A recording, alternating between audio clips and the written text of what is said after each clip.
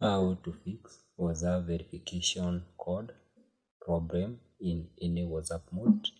So this video I have made it irrespective of the WhatsApp mode which you are using. If you are using GB WhatsApp, FM WhatsApp, Yo WhatsApp, this WhatsApp has been built courtesy of the pillars of the normal messenger WhatsApp. So this video will apply to all WhatsApp modes. So in case you happen to experience delayed WhatsApp WhatsApp verification code or OTP in any of these WhatsApp WhatsApps, what you need to do.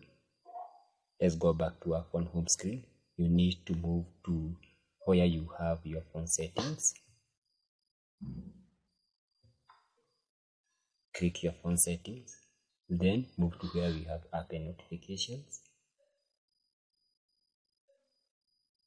So you just click see all. But in our case, we shall be solving our problem using the normal messenger WhatsApp. So you just move to where we have WhatsApp. So this this method will solve delayed OTP or WhatsApp verification code, and also if you get an error telling you that you have guessed or more attempts in trying to guess the WhatsApp OTP or verification code. So what you need to do after coming to this interface, you need to move to where we have storage and cache. Just to try and clear the storage so that you seem like you have reset the reset the whole WhatsApp metadata in your phone. Then you need to come back into your phone home screen and do now a refreshment and now you'll be prompted to open like you're opening a new WhatsApp and move out of that interface of verification. You try and enter your contact again. So let me enter my contact again.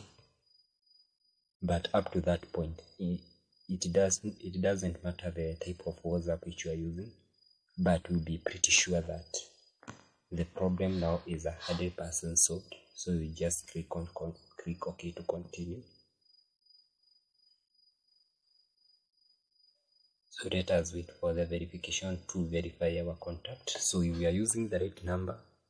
And follow that process which i have shown you you'll be pretty sure that the program will be a hundred percent solved so you can see the verification now is complete.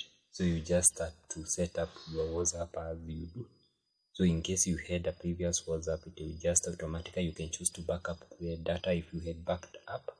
But in my case, I had not. I don't need to back up anything. But if you want to back up, don't skip. Just back up your data. So I just give my WhatsApp name which I used, like using my indigenous name.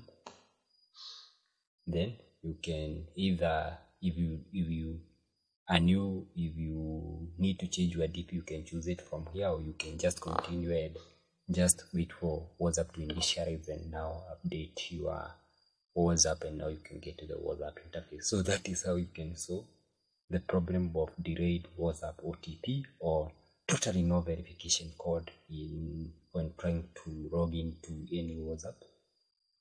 It doesn't depend it doesn't matter if you are using gb whatsapp any whatsapp which you are using that is how you can do. So thank you for watching. Please don't forget to give the video a thumb up and also subscription so that you not miss out any of my future content like this. So you are just in this, this interface. So it tells you that you have solved the problem. So you can give the video a thumb up or a like subscription and also a comment telling me the, your problem is solved. It is not solved. I really love those negative and positive comments. They encourage me to continue making more videos like this. Bon appetit.